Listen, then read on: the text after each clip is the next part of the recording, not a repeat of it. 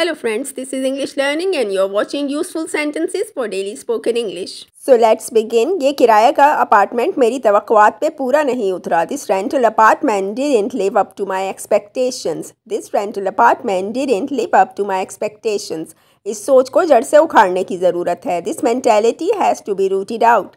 This mentality has to be rooted out वो हालात के हाथों मजबूर होकर भीख मांगने लगा he was oblige to be bagging bye circumstances he was oblige to be bagging bye circumstances उस लड़की पर डोरे डालना बंद करो।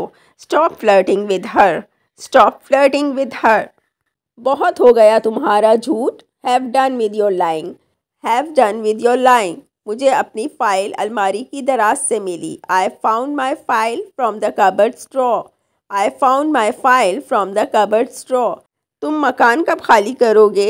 When will you vacate the house when will you vacate the house तुम मुझ पर अपने एहसान जितला रहे हो। You are keeping account of all your favours you are keeping account of all your favours वो ज़रा खुश नहीं है। She is not happy at all she is not happy at all बात समझ में आती है। इट्स प्लॉजिबल इट्स प्लॉजिबल अगर मौसम बेहतर हो गया तो हम बाहर सैर को चलेंगे। If the weather condition is settled we shall go out for a walk if the weather condition is settled we shall go out for a walk मेरे तो कभी कोई दोस्त भी नहीं थे। I have never had any friends I have never had any friends कल से मौसम बेहतर हो जाएगा।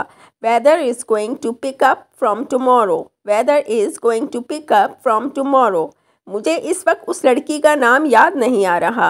I can't recall her name at the moment I can't recall her name at the moment मेरे बिल्कुल जहन से निकल गया।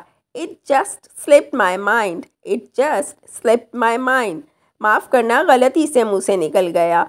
Sorry it was just slip of tongue sorry it was just slip of tongue ज़बरदस्त ये काम कर गया या ये तरकीब काम आ गई, ये चीज़ काम आ गई तो इस तरह हम कहते हैं इंग्लिश में excellent it works excellent it works बहुत समझदार या बहुत चालाक तो कहते हैं हाउ स्मार्ट हाउ स्मार्ट वो मुफ़्त की रोटियाँ तोड़ता है। He eats meal for nothing he eats meal for nothing तो मुझसे मेरी मर्ज़ी के बगैर कुछ नहीं करवा सकते।